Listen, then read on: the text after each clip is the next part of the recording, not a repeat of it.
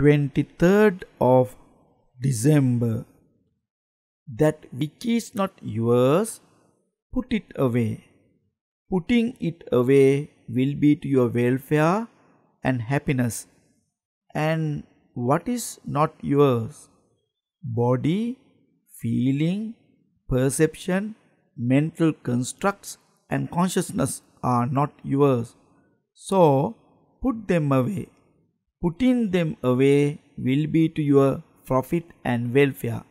It is just as if a man should gather up, burn, or do whatever he wanted with all the grass, sticks, and branches here in Jeta Grove.